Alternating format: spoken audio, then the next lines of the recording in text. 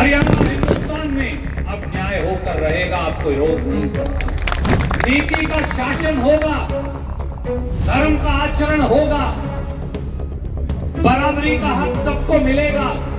इस इलाके का एक साथी, आपका एक बेटा, आपका एक भाई, तब भी न्याय जीता था, विश्वास रखिए, फिर न्याय जीतेगा। एसआरके की कांग्रेस संदेश यात्रा आज कैथल यानी कि सुरजेवाला के गढ़ पहुँची।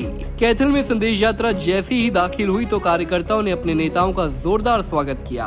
हाथों में कांग्रेस का झंडा और ज़ुबान पर सुरजेवाला और सैलजा के नारों से कैथल की सड़कों पर आज सुरजेवाला और सैलजा ने अपना दम दिखाया। वहीं इस मौके पर रणदीप सिंह सुरजेवाला ने कहा कि हरियाणा में लोकसभा की 10 सीटें कांग्रेस जीतेगी।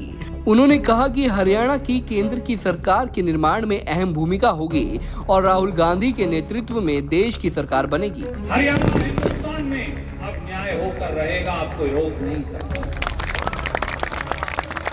नीति का शासन होगा, धर्म का आचरण होगा, बराबरी का हक सबको मिलेगा। अब कभी कोई दलित, पिछड़े, गरीब, छोटे किसान, छोटे दुकानदार, महिला और नौजवान के हक पर कुठाराघात किसी शासक को नहीं करने देंगे।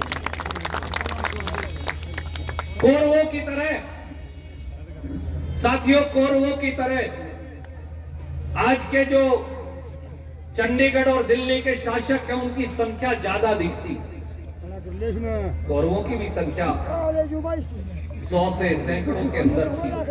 उनकी फौज भी बड़ी दिखती, उनकी फौज भी बहुत बड़ी थी। उनके पास हथियार भी ज़्यादा दिखते।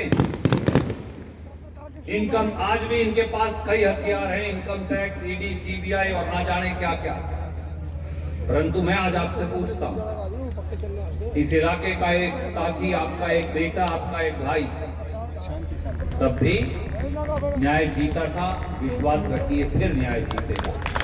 सुरजेवाला ने कहा कि लाखों किसान तीन कृषि कानूनों के खिलाफ आंदोलन करते रहे। 700 किसानों की जान चले गई, मगर जिनको वोट देकर चुना था, वे कहाँ थे?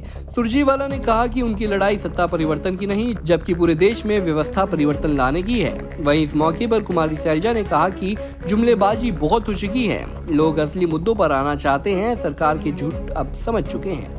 सैलजा ने कहा कि भाजपा जजपा के 10 वर्षों के शासन से देश और प्रदेश की जनता पूरी तरह से तंग आ चुकी है। महँगाई, बेरोजगारी और भ्रष्टाचार अपनी चरम सीमा पर है। देश का हर वर्ग को सरकार बदलने का मन बना चुकी है। बता दें कि कैसल में कांग्रेस संदेश यात्रा पहुँचने पर जाखोली अड्डा बस स्टैंड, पिहोवा चौक, पार्क रोड पर कार्यकर्ताओं द्वारा भव्य स्वागत किया गया। ट्रेन से बड़ी फूल माला और नारियल की माला पहनाकर भी भव्य स्वागत किया गया। कैथल से जयपाल रसूलपुर, पंजाब केसरी टीवी।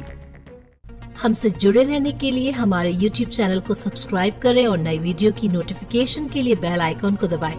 अगर आप ये वीडियो Facebook पर देख रहे हैं तो लाइक ज़रूर करें और ज़्यादा से ज़्यादा शेयर करें धन्यवाद